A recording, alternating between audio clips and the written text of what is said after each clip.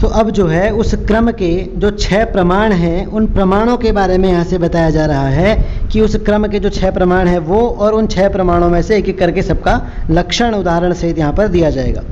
अब कह रहे तत्र षट प्रमाणानी, छह प्रमाण हैं उस क्रम के कौन कौन से?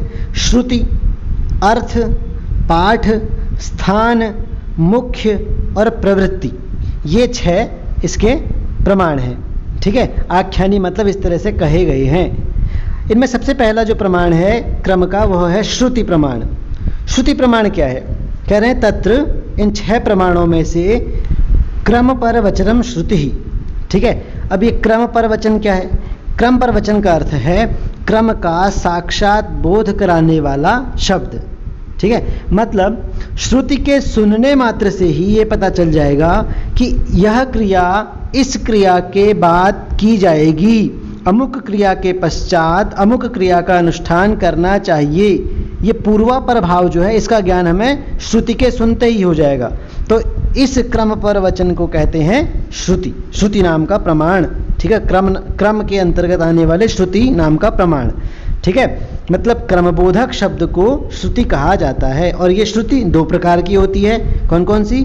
केवल क्रम परम और तद विशिष्ट पदार्थ परम, ठीक है? केवल क्रम परम और इस क्रम से विशिष्ट जो पदार्थ है, क्रम विशिष्ट परम, इसको कह सकते हैं। तो ये दो प्रकार की यह श्रुति होती है। पहला भेद, केवल क्रम परम, क्या है ये? तत्र इन दो पदार्थों में से वेदम कृत्वा वेदिम करोति इति केवल क्रम परम। केवल क्रम परम का उदाहरण है कि वेदम कृत्वा वेदिम करोति। अब वेद माने होता है कुशमुष्टि मतलब वेदी बनाने से पहले कुश, कुशमुष्टि बनाई जाती है, कुशा से कुछ बनाया जाता है, उसे कुशमुष्टि कहते हैं तो पहले उसको बनाया जाता है।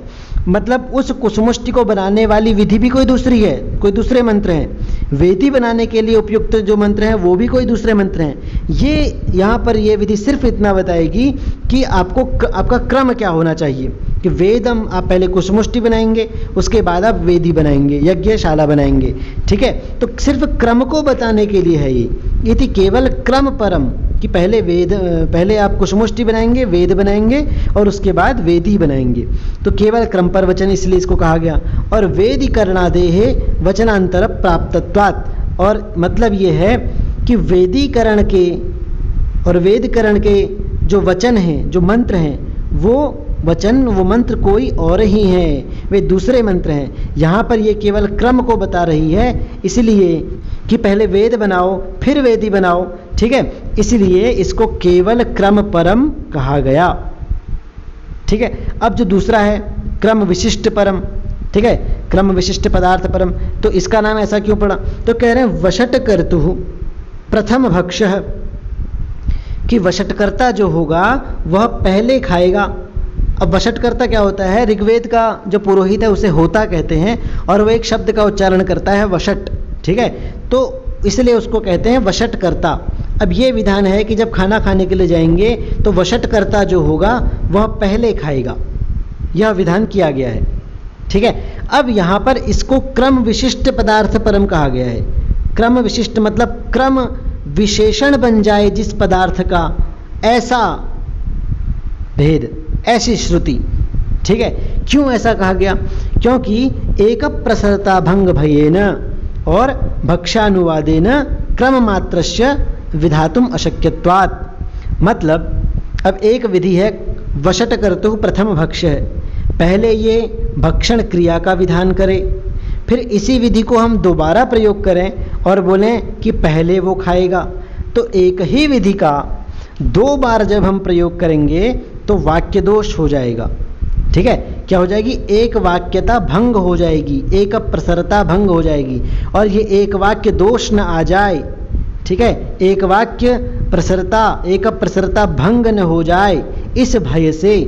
ठीक है? इस दोष से बचने के लिए भक्षानुवादेन पहले हम जो ये विधि जो है वशट करते हो, प्रथम भक्ष है, यह भक्षण क्रिया का विधान तो करेगी ही, लेकिन क्रम को विशेषण बना देंगे हम इसका।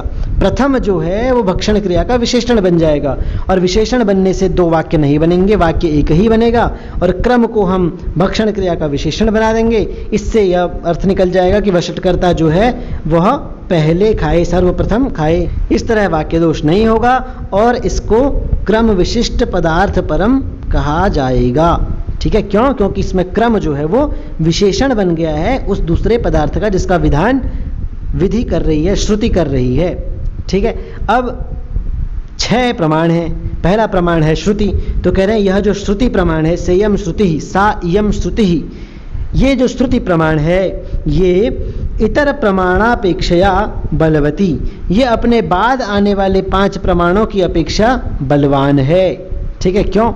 तेषाम वचन कल्पना द्वारा प्रमाण, क्रम प्रमाणत्वात्। मतलब अगर इसके, श्रुति के बाद आने वाले जो प्रमाण हैं, अर्थ, पाठ, स्थान, ये जो प्रमाण आदि हैं, इनके द्वारा यदि हम विधान करेंगे, ठीक है इनके द्वारा यदि हम विधान करेंगे तो पहले हमें वहाँ पर वचन कल्पना करनी पड़ेगी, श्रुति की कल्पना करनी पड़ेगी। और फिर जो है हमको क्रम प्राप्त होगा। और फिर जब क्रम का प्रमाण प्राप्त होगा, तब जाके हम वहाँ पर विधान होगा, तब जाके वहाँ पर क्रिया होगी। इससे क्या होगा? इससे आशुभाव नहीं हो पाएगा। शीघ्रता नहीं हो पाएगी, शीघ्रता हमारी खत्म हो जाएगी। पहले एक दूसरी श्रुति की कल्पना करो, फिर वो क्रम लेकर आएगी, फिर हम उसका विधान करेंगे। तो शीघ्रता नहीं होगी, लेकिन होना क्या चाहिए? आशुभाव होना चाहिए, तुरंत शीघ्र होना चाहिए काम। तो श्रुति क्या है? श्रुति के लिए किसी प्रमाण की आवश्यकता करनी नहीं पड़ती। उसके लिए तो किसी चीज़ की कल्पना करनी नहीं पड़ती। श्रुति जब स्वयं ही बोल दे कि ऐसा विधान होगा तो किसी प्रकार की कल्पना करने की आवश्यकता नहीं है और कार्य जो है वो शीघ्र भी संपन्न हो जाएगा। ठीक है? अब इसका उदाहरण दे रहे हैं कैसे? अतएव आश्विन ग्रहणस्य पाठक्रमात तृतीय स्थाने। मतलब आश्विन ग्रहणस्य एक जगह पर तीन विधियों का, तीन मंत्रों का विधान है। ठीक है? पहला मंत्र है ऐन्द्र वायवम गृहणाति। दूसरा मंत्र है मैत्रा वरुणम गृहणाति। तीसरा मंत्र है आश्विनम गृहणाति। अब यहाँ पर जो पहला मंत्र है ऐन्द्र वायवम गृहणाति, उसके बाद मैत्रा वरुण आएगा और उसके बाद आश्विनम गृहणाति, तीसरे स्थान पर है। ठीक है? तो कह रहे हैं आश्विन ग्रहणस्य पाठक्रमा तृतीय स्थाने ग्रहण प्रसक्तो। अश्विन ग्रहण का क्रम जो है, वो तीसरा है। तीसरे नंबर पे वो ग्रहण करेगा। यह विधान यहाँ पर किया गया है। लेकिन यदि श्रुति के अलावा हम किसी अन्य प्रमाण से इसकी कल्पना करेंगे तो पहले हमें श्रुति की कल्पना करनी पड़ेगी और तब क्रम का निर्धारण होगा। इस प्रकार पाठ से श्रुति का कल्पना करने में विलंब होगा। लेकिन हमें यहाँ पर एक दूसरी श्रुति मिलती है, ठीक है? एक श्रुति मिलती है, स्वयं वहाँ पर उपस्थित हो गई है और वो कह रही है कि आश्विनो दशमो गृह्यते। कि अश्विन का स्थान तीसरा नहीं है? अश्विन तो दसवें नंबर पर आएगा। और जब श्रुति यहाँ पर स्वयं ये कह रही कि अश्विन दसवें नंबर पर आएगा, भले ही मंत्रों में उसका क्रम कोई सा भी हो, आएगा वह दसवें नंबर पर जो है वो ग्रहण करेगा अपने भाग को तो यह श्रुति स्वयं प्रमाणित होती है और इसी से हमें ये पता चल जाता है इति वचनात् दशम स्थाने ग्रहणम इत्युक्तम। अश्विन ग्रहण दसवें स्थान पर होता है, यह बात हमें पता चलती है। ठीक है? मीमांसा सूत्र में यह बात कही गई है। तो इस तरह से श्रुति जो है वो बलवान होती है अन्य प्रमाणों की अपेक्षा, क्योंकि इसमें कल्पना नहीं करनी पड़ती श्रुति स्वयं प्रमाणित होती है। ठीक है? और अन्य प्रमाणों में हमें कल्पना करनी पड़ेगी श्रुति की। तो इसलिए वहाँ पर देर ना लग जाए और काम जल्दी हो जाए, इसलिए श्रुति जो है ज़्यादा बलवती होती है अपने बाद आने वाली अन्य प्रमाणों की अपेक्षा। अब अगला प्रमाण है अर्थक्रम। ठीक है? अर्थक्रम का लक्षण है कि यत्र प्रयोजन वशेन क्रम निर्णय है सो अर्थक्रम है। कि जहाँ पर किसी प्रयोजन विशेष के कारण, ठीक है, क्रम का निर्णय किया जाए, उसे कहते हैं अर्थक्रम, ठीक है, प्रयोजन के कारण क्रम का निर्णय किया जाए, वह अर्थक्रम कहलाया जाएगा। जैसे, उदाहरण दे रहे हैं, जैसे, अग्निहोत्रम जुहोती, यवागुम पचती, ये एक विधि है, अग्निहोत्रम जुहोती, यवागुम पचती। अब यहाँ पर यदि हम क्रम देखें तो पहला नंबर आता है अग्निहोत्रम जुहोती का अग्निहोत्र यज्ञ करता है, होम करता है। दूसरा क्रम से दूसरा स्थान आता है यवागुम पचती का ठीक है, इसका दूसरा स्थान है। तो यदि हम इस अग्निहोत्र, अग्निहोत्रम जुहोती यवागुम पचती, इस विधि में यदि हम क्रम देखते हैं तो पहला अग्निहोत्रम जुहोती का स्थान और दूसरा यवागुम पचती का स्थान आता है। लेकिन क्या हम इसी क्रम को मान लें? ठीक है, क्या हम ऐसा ही करें? और यदि हम ऐसा ही करते हैं तो क्या होगा? और यदि नहीं करते हैं तो क्या समस्या होगी? ठीक है? तो वही यहाँ पर कह रहे हैं कि यहाँ पर अर्थक क्रम से हमें पता चलेगा कि पहले अग्निहोत्र होम करना है या पहले यवागु का पाचन करना है, यवागु पकाना है। यवागु एक तरह की कोई कोई पदार्थ है जिसको पकाना है। अब यवागु पाक एक क्रिया है, ठीक है? यहाँ पे कह रहे हैं, अत्र ही यवाग्वा होमार्थत्वेन तत्पाक प्रयोजन वशन पूर्व मनुष्ठीयते अब जो अग्निहोत्र होम होता है वह यवागु से ही होता है। ठीक है? अग्निहोत्र होम में यवागु, एक बहुत विशिष्ट वहाँ पर विधि में एक काम आता है। ठीक है? और यदि हम यवागु को बाद में पकाएँगे तो इसका कोई प्रयोजन तो रह नहीं जाएगा। इसलिए हम अर्थक्रम नाम के प्रमाण से यह निश्चय करते हैं कि क्योंकि यवागु अग्निहोत्र होम में काम आता है, अग्निहोत्र होम के संपादन में सहायक है यवागु के द्वारा ही अग्निहोत्र होम किया जाता है। इसीलिए इस प्रयोजन के कारण इस यवागु का पाक जो है, इस यागु को पकाना जो है, वह इस अग्निहोत्र होम से पहले अनुष्ठित की जानी चाहिए। पहले की जानी चाहिए। ठीक है तो प्रयोजन के कारण जहाँ पर क्रम का निर्णय हम करें। यदि हम प्रयोजन का जो है, प्रयोजन को नहीं देखें अर्थ क्रम से नहीं देखें तो पहले अग्निहोत्र होम हम कर लेंगे। और क्रमशः फिर यवागु में पचती यवागु का प, को पकाएँगे। लेकिन फिर यवागु पका के करेंगे क्या? क्योंकि वो तो अग्निहोत्र होम में काम आती है। ठीक है? तो इसीलिए यहाँ पर प्रयोजन के कारण हमने क्रम बदल दिया और पहले यवागु का पाक किया और फिर जाके अग्निहोत्र होम का संपादन किया। अब ये जो अर्थक्रम नाम का प्रमाण है ये अपने बाद आने वाले पाठक्रम प्रमाण आदि से क्या है? बलवान है। ठीक है, ये अर्थक्रम अपने बाद आने वाले प्रमाणों से ज़्यादा बलवान है। कैसे? यथा पाठम अनुष्ठाने। पाठम या अनुष्ठान, यदि हम पाठ क्रम के हिसाब से अनुष्ठान करेंगे, ठीक है तो क्या होगा? क्लिप्त प्रयोजन बाधो अदृष्टार्थत्व चात यदि हम क्रम से, ठीक है, यथा पाठ, जैसा कि पाठ किया गया है, जैसे कि विधि में पाठ किया गया है, वैसा ही यदि हम अनुष्ठान करेंगे तो क्या होगा? कोई प्रयोजन नहीं रह जाएगा। पाठक्रम के अनुसार यदि हम पहले अग्निहोत्र होम करें और बाद में यवागु का अनुष्ठान करें तो इससे निश्चित प्रयोजन में क्या होगी? बाधा होगी। मतलब यवागु पाक से संपादित होने वाला अग्निहोत्र होम जो होगा, उसके संपादन में बाधा आएगी। और क्या होगा? अदृष्ट की उत्पत्ति हमें माननी पड़ेगी। ठीक है? अदृष्टार्थत्व चशात अदृष्टार्थ की उत्पत्ति हो जाएगी। अदृष्टार्थ की उत्पत्ति क्यों होगी? क्योंकि न ही होमानंतरम क्रियमाण क्रियमाणस्य पाकस्य किंचित दृष्टम प्रयोजनम अस्ति क्योंकि होम को हमने पहले कर लिया और उसके बाद हम पाक की क्रिया कर रहे हैं तो उसके बाद यवागु की कोई आवश्यकता रह नहीं जाती। होम जब पहले हो गया, जिस होम में यवागु का इस्तेमाल करना था, उस यवागु को हम बाद में बना रहे हैं तो उसके बाद उसके बनाने का कोई दृष्ट प्रयोजन रह नहीं जाता है। होम से पहले बनाने का दृष्ट प्रयोजन प्रयोजन तो यह है कि वो होम में काम आएगा। ठीक है, लेकिन होम के बाद यदि हम उस, ये वागु को बनाते हैं, उसका कोई खास कारण रह नहीं जाता।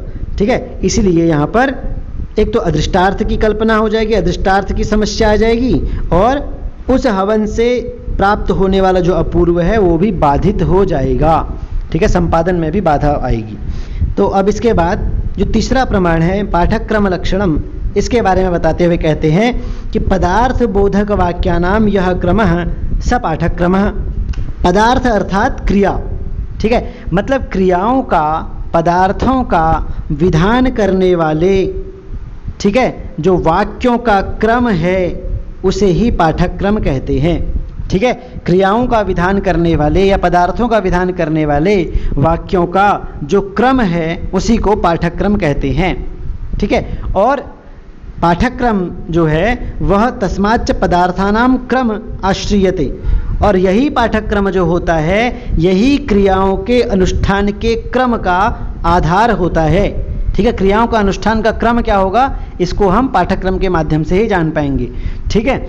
आगे कहते हैं ये न क्रमेण, एक ही यहाँ पर नहीं है ये न क्रमेण वाक्यानि पठितानि। मतलब जिस क्रम से अब दो जगह हैं, वाक्य विधि वाक्य ठीक है? एक तो मंत्रों में, संहिताओं में, ठीक है? और दूसरा ब्राह्मण ग्रंथों में। तो जिस क्रम से मंत्रगत या फिर ब्राह्मणगत विधिवाक्यों का पाठ किया जाता है, वाक्यानि पठितानि, उसी क्रम से, तेनेव क्रमेण, उसी क्रम से अधितानि अर्थ प्रत्ययम जनयंती उसी क्रम से अध्ययन करने पर वे जो वाक्य हैं, उन वाक्यों का अर्थ ज्ञान होता है। प्रत्यय माने होता है ज्ञान अर्थ प्रत्यय माने अर्थ का ज्ञान। तो मतलब जिस क्रम से मंत्र और ब्राह्मण ग्रत जो ये विधि वाक्य हैं, इनका पाठ किया जाता है, उसी क्रम से अध्ययन करने पर इन वाक्यों के अर्थ का ज्ञान भी होता है। और क्या होता है? ज्ञान क्रम के अनुसार ही क्रियाओं का अनुष्ठान किया जाता है। जैसा ज्ञान तुम्हें होगा, यथा प्रत्ययम च। जैसा ज्ञान तुम्हें होगा उन विधिवाक्यों का, उसी प्रकार तुम पदार्थानाम अनुष्ठानम, उसी प्रकार उन क्रियाओं का अनुष्ठान भी करेंगे। उसी प्रकार क्रियाओं का अनुष्ठान भी किया जाता है। अब ये पाठ जो है, ये दो तरह का होता है। एक तो है मंत्र पाठ मतलब कि संगीता के अंतर्गत आई गई जो मंत्र हैं, उनका पाठ। दूसरा है ब्राह्मण पाठ ठीक है? ब्राह्मण ग्रंथों में आए हुए पाठ। इसको और अच्छी तरह समझते हैं। मंत्र पाठ ज़्यादा ताकतवर है, ठीक है? हमारा ज़्यादा बलवान होता है ब्राह्मण पाठ की अपेक्षा, क्योंकि ब्राह्मण ग्रंथ जो हैं, वो संगीताओं पर ही तो आधारित हैं। यजुर्वेद में जो संगीत, यजुर्वेद संगीता में जो मंत्र आए हैं, उन्हीं मंत्रों में जो वर्णन किए गए हैं, उन्हीं पर बना है ब्राह्मण ग्रंथ बने हैं। तो मंत्र पाठ और ब्राह्मण पाठ दो तरह के पाठ होते हैं। और मंत्र पाठ के बारे में बता रहे हैं कि तत्र आग्नेय अग्निशोमी हो तत्त याज्ञानुवाक्यानाम पाठाद्य क्रम कि जो आग्नेय और अग्निशोमीय याग जो होते हैं तो इन आग्नेय और अग्निशोमीय यागों का जो क्रम, उन यज्ञों के अनुवाक्य संज्ञक वाक्यों से निर्धारित किया जाता है।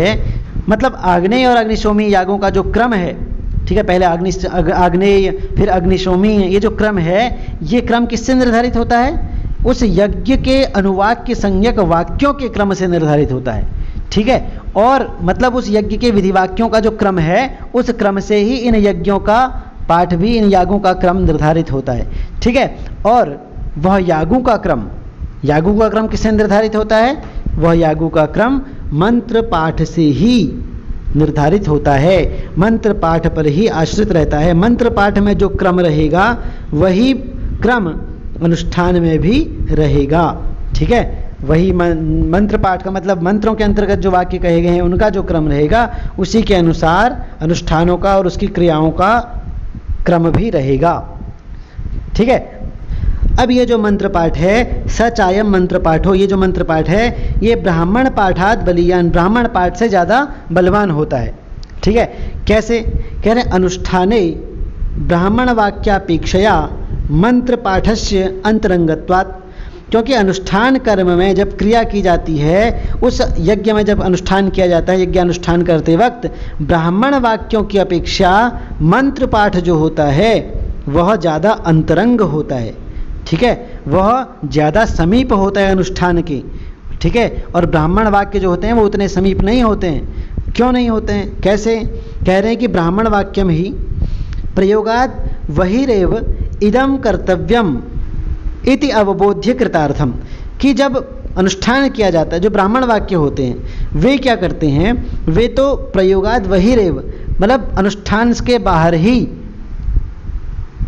क्रियानुष्ठान से दूर रहकर ही सिर्फ़ क्या करते हैं? इदम कर्तव्यम, ऐसा करना चाहिए इतना मात्र बता देते हैं और इतना बताकर वो कृतार्थ हो जाते हैं मतलब दूर हो जाते हैं। लेकिन मंत्र क्या होते हैं? मंत्र पाठ क्या करता है? मंत्रा पुनः प्रयोग काले व्याप्रियंते मंत्र काल तो क्रियानुष्ठान के काल में इनका व्यवहार किया जाता है व्याप्रियंते क्रियानुष्ठान के समय इनका व्यवहार किया जाता है, इनको बोला जाता है।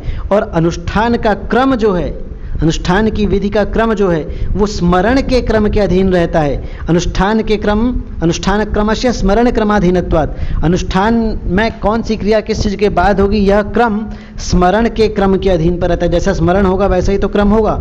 और स्मरण के क्रम अधीन रहता है। और वह जो स्मरण का क्रम है, वह मंत्रों के क्रम के अधीन रहता है। जैसे मंत्र हमने स्मरण किए होंगे, वैसा ही हम अनुष्ठान में क्रिया करेंगे तो वह स्मरण का क्रम भी मंत्रों के क्रमों के अधीन रहता है। इसीलिए ये मंत्र पाठ जो है, ये ज़्यादा अंतरंग है, अनुष्ठान के ज़्यादा नज़दीक है, इसलिए ये ज़्यादा बलवान है। ठीक है? तो ब्राह्मण वाक्यों की क्या आवश्यकता है? ब्राह्मण वाक्यों की क्या उपयोगिता है? तो इस बात को बताने के लिए कह रहे हैं कि प्रयाजानाम समिधो यजति, तनून पातम यजति। ठीक है? समिधो यजति मतलब समिध नामक याग का अनुष्ठान करें तनूनपात नामक याग का अनुष्ठान करें। ये जो इति एवं विधम पाठक्रमाद्य क्रम है, इस प्रकार से, इस प्रकार का ये जो पाठक क्रम है कि इस यज्ञ के बाद वो यज्ञ करें, उस यज्ञ के बाद वो यज्ञ करें, ये जो इन यज्ञों का क्रम है, इस यज्ञों के क्रम का आधार ब्राह्मण वाक्य है, ब्राह्मण पाठ है। ठीक है? तो ये क्रम जो है ब्राह्मण पाठ के क्रम से ही, ब्राह्मण वाक्यों में जो क्रम बताया गया है, उसी के, उसी से पता चलता है कि किस यज्ञ के बाद कौन सा यज्ञ करना चाहिए, इन यज्ञों का क्रम क्या होगा। अब यद्यपि ब्राह्मण वाक्यानि अर्थम विधायी कृतार्थानी।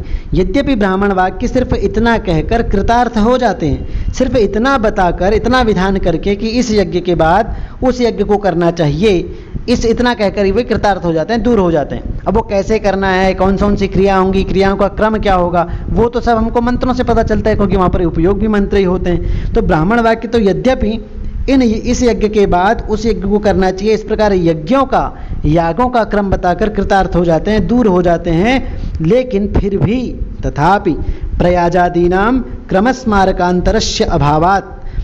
इन प्रयाज आदियों का, ठीक है, ये जो समिधो यजति, ये तनून पातम यजति, ये जो प्रयाज नाम के जो अंग होते हैं ठीक है, जो प्रयाज याग होते हैं, मुख्य यज्ञ, जैसे दर्श पौर्णमास जो मुख्य यज्ञ है, उसके जो प्रयाज आदि अन्य अंग होंगे, उन अन्य अंगों के भी अंग जो होंगे, उन अंग, प्रयाज आदि यज्ञों के अंदर जो यज्ञ आते हैं, ठीक है तो प्रयाज आदि नाम उन यज्ञों के क्रम का स्मारक कोई अन्य वाक्य नहीं है, कोई अन्य पद नहीं है, ठीक है, इन प्रयाज आदि यागों के क्रम को स्मरण कराने वाला कोई अन्य वाक्य नहीं है। उन स्मरण कराने वाले किसी अन्य वाक्य का सर्वथा अभाव है। इसीलिए, ठीक है? इसीलिए वहाँ इन ब्राह्मण वाक्यों को क्रम स्मारक के रूप में स्वीकार कर लिया जाता है। कि तुम जो है, हमें यज्ञों के क्रम का वर्णन बताओ, यज्ञों के क्रम के बारे में बताओ, उन यज्ञों के क्रम का स्मरण कराओ, और उसके बाद वो यज्ञ को करना कैसे है, ये मंत्रों के द्वारा हमें पता चलेगा। ठीक है तो इस प्रकार से ब्राह्मण वाक्यों की अपनी विशेषता है, लेकिन इससे ज़्यादा बलवान मंत्र हैं मंत्र पाठ है, और मंत्र पाठ की अपनी विशेषता है। ठीक है